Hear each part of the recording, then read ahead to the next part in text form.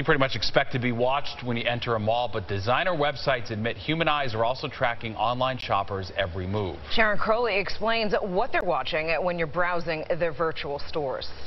When millions of us start shopping online on Cyber Monday, one global technology company and its luxury retail clients will be watching.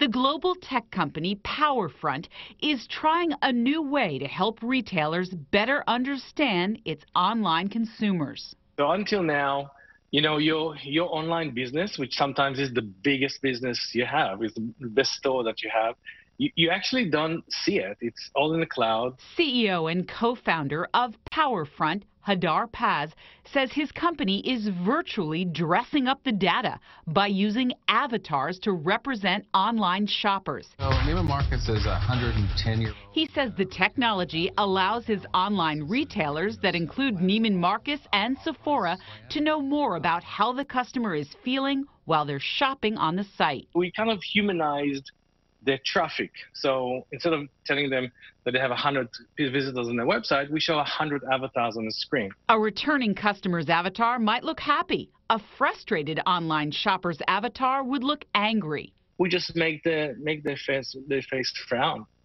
That's all. Maybe even smoke coming out of their ears. The company is using the avatars to simulate a real brick and mortar store shopping experience where a store manager might physically see how a customer was feeling, what item they buy, or what items they leave on the rack. When you walk into a physical store, you see the customers, you see what they're looking at. That's actually reducing friction points with customers. The company is hoping that their luxury retail clients will be able to better internalize exactly how the online shopper is feeling. Sharon Crowley, Fox 5 News.